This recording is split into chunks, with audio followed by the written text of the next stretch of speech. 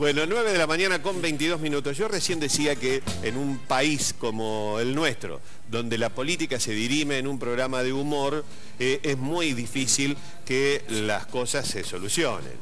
Es decir, ahora está la pelea para ver quién aparece más en el programa de Tinelli, que es un programa de humor. Los políticos quieren aparecer allí. Y la verdad que da pena que las cosas del país, las cosas serias, los candidatos que tienen que trasladarnos propuestas, lo hagan a partir de un programa de humor, de un programa cómico, y se sumen como cómicos y no como políticos, como dirigentes, como representantes del poder que les otorga la gente. Y me alegra sobremanera que la presidenta de la Nación no se haya aprendido a esta historia. Como si lo hicieron otros presidentes. Como si lo hicieron otros presidentes. Me alegra sobremanera que le ponga un manto de seriedad a una investidura, la investidura que ostenta, que es la de presidenta de, de la Nación. Y esto no le quita humor. Esto, porque por ahí escucharon, no, porque qué mala onda. No, no, le da seriedad que es distinto. Es como que pasar por el programa de Tinelli es hacerte el piola, el langa, entonces queda bien y se ve que piensan que sumarán votos con eso. Pero si uno hace una encuesta y pregunta qué opinión tiene de algunos de los que han pasado por Tinelli ahora, ¿qué te parece que está representando allí? La mayoría les va a decir, me parece que es un pelotudo bárbaro. Con perdón de la palabra, algunos de los que están apareciendo allí. Y bueno, eh, por ejemplo... Eh, Hablando de... Sí, me parece me parece que debiéramos como ciudadanos reencauzar un poquito estas cosas y decirle a nuestros dirigentes que si quieren obtener el voto, lo van a obtener o debieran obtenerlo por este, propuestas, por cosas un poquito más serias, que sumándose a un varieté. Esto no le suma ni a la política ni a los candidatos. Yo sé que sirve para que la gente los conozca, está muy bien, bárbaro, fantástico pero de ahí a convertirse ya en elenco estable de un programa de humor, es una cosa, me parece, delicada y que habla bastante mal de la política argentina, es decir, la empobrece a la política argentina celebro, por lo menos hasta creo que anoche, tampoco. No, no, no, la entiende la, Celebro. La llamó todas las noches. Sí, celebro, pero realmente. La va, a volver a llamar, dijo. Bueno, y ojalá que no lo atienda, porque me parece que no, no, no es un lugar para que esté ahí, ¿para qué? Para que te chichoneen, para que te carguen, para que le tiren chicanas, para que la, la, hagan hablar con una vedette, para...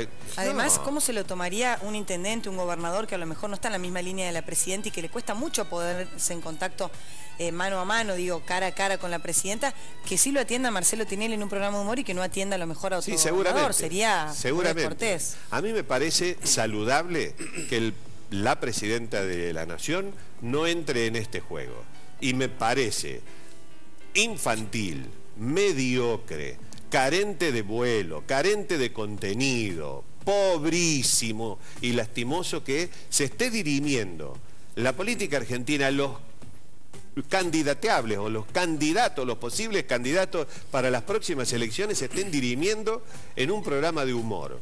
En mi opinión, y seguramente puede estar equivocado, pero bueno, me da esa sensación. El tema de Isaurralde estuvo, debatiendo ahí si iba con Massa o si iba con Scioli. Bueno, me parece Porque la vez que habló con Scioli por teléfono, Scioli lo invitó, digamos, lo chicaneó para que lo acompañara y Massa también, porque los dos salieron al aire por teléfono, tanto Massa como Scioli.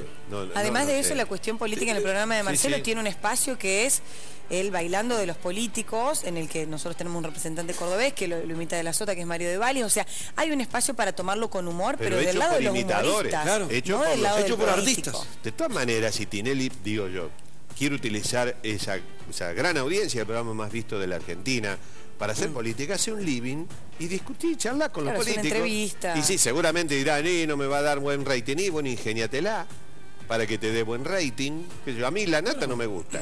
No me gusta la nata porque es un, periodista militante, pero se las ingenió para tener rating haciendo política. Bueno, ingeniatela, Tinelli, hace alguna otra cosita para que la gente te vea y poder hacer política seriamente. De todas formas, Tinelli hace su negocio. Pero obviamente que el único que hace negocio es Tinelli. Porque Tinelli sigue con el show. Pero por supuesto. Él hace un programa de show y los políticos en vez de prestarse seriamente se prestan al show. Sí, por supuesto. Bueno, pero, si, quieren, si quieren hacer el bailando por un sueño, que se dediquen a la farándula los políticos. Si quieren hacer política, que, se, dediquen a otra cosa.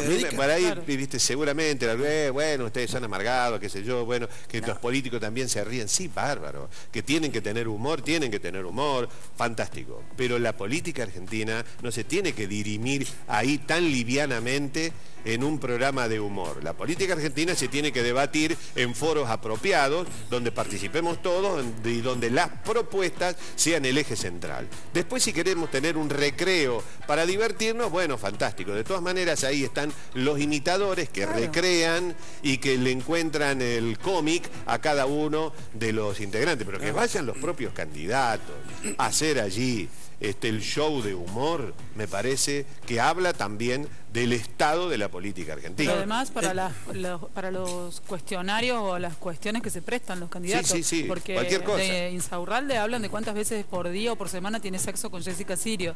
Digo, a eso va el candidato, a exponer ah. eh, una cuestión que no, sé si será verdadera o mentirosa, pero de su vida privada, íntima, que a nadie le importa. De todas formas, ni siquiera van a plantear cosas serias y, ni aprovechan el, espacio de los políticos para transmitir algo serio a la población. Eh, se la pasan haciendo chistes. El coqueteo no es nuevo. ¿Se acuerdan cuando, sí, no, cuando eh, lo operaron en aquel momento a, Menem, fue? Sí. O al revés. Lo habían operado a Bernardo Neustadt. Ah, sí. Y que Menem... Lo reemplazó. Fue conductor del programa de Neustadt. Exactamente. se llamaba Tiempo. Así y bueno, así nos está yendo. Tiempo nuevo. Qué horror. O sea, estamos hablando hace más de 20 años. Más de, mucho, más. de 20 años. Habían operado a Neustadt que desde la clínica le habían puesto un móvil y el que conducía el programa era Carlos Saúl Menem. Era Menem. Bueno, así nos ha ido yendo. Después pasó de la Rúa, el programa de, de, Tinelli. Un, no será... Un papelón. No iba a decir una, una barbaridad. Bueno, este, así nos está yendo. Así nos está yendo con la este, farandulización de nuestra política. Esto no quiere decir que los políticos sean amargos. Quiero decir que los políticos sean simpáticos, amables, que puedan contar chistes. Pero que... Pero hay un límite. Claro, que su centro de debate sea un programa de humor hace que la política sea una risa. Ese es el, el tema. Y me alegro mucho que la presidenta no se haya aprendido en esto. Es un toque, un signo de seriedad. El vice... Te guste o no te guste, esté equivocada o no esté equivocada. El vice no hace lo mismo. No, el vice es un show de humor en sí mismo. No, y además participa en la mancha de Rolando, va sí, a sí, El vice es poco serio. Y así son los problemas que les está trayendo. Bueno, señores, 9 de la mañana con 29, se puede estar de acuerdo, no se puede estar de acuerdo. Seguramente va a haber muchos que no están de acuerdo, que me van a decir que son unos amargos. No, al contrario, nosotros tratamos de divertirnos, pero no debatir los temas centrales. Estos tipos van a dirigir nuestra Argentina, van a decir si somos libres, si, estamos, si no estamos libres, vamos, si comemos, si no comemos, cuánto ganamos, cuánto no ganamos. Van a decidir nuestro futuro, el nuestro y de nuestros hijos. No es cosa, no es broma, es una cosa en serio. Es una cosa en serio. Y para que la gente lea, por ejemplo, Isaurralde fue el hombre del Frente para la Victoria que más votos sacó en la última elección en el conurbano. Sí, sí. Y está, para que hablemos, para que vean la gente lo que es el, travestismo político, el vedetismo de los políticos. Sí. Porque ahora está coqueteando con Massa, que obviamente se, muestra como un candidato anti anti-K, o está coqueteando con Scioli, que nadie sabe si va a ser el candidato del gobierno nacional o no. Bueno, mira. El que más votos sacó, Insaurralde. Acá lo tiene la Insaurralde ya coqueteando, miren, Insaurralde es el de pelo largo, el que está en el medio. Ya en, aquella época, hace unos años atrás, unos cuantos años era atrás... Un pibe, mirá. Sí, era un pibe, pero estaba entre Menem y Dualde. ¿Y ahora dónde está? Estaba con Cristina. Estaba con Cristina, ahora está... Hasta, hasta marzo, por ahí. Bueno. Bueno, ahora se dedica a la televisión. Mm. ¿eh? ahora, puede estar con Scioli o puede estar con Massa. Bueno, este es, un poco una joda todo, ¿no? Pero lamentablemente estamos como estamos, con todos los problemas que, que tenemos. Bueno, señores, 9.31.